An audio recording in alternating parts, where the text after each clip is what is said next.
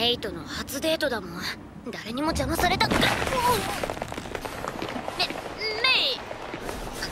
大丈夫？すでにやべえ。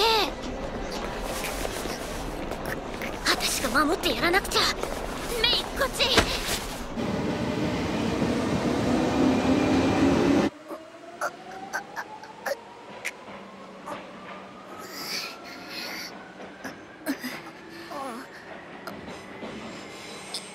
息止めて。はあ？息止めたら死んじゃうって。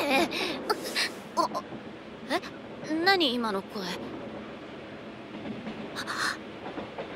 体がすごく熱い。メイ大丈夫？これって一線超えるチャンスなのでは？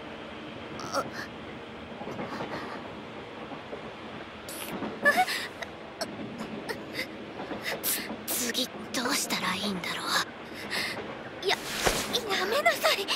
どうしてこんなことするの？ふざけないで。ふざけてない？私は本気でメイとな何を言ってるの？だって桃木野さんがメイとそのあのだから。ごめんごめんってば。クレープおごるから許して。別に怒ってないわ。人間なんだから。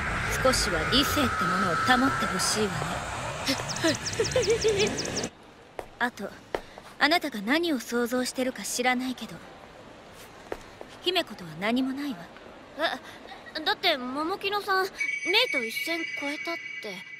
私は姫子が妙なことしてきたから叱っただけで自分に都合よくあなたに話したんでしょ騙されるあなたもあなただけど。なんだよ ってことは私にもまだチャンスはあるってことじゃん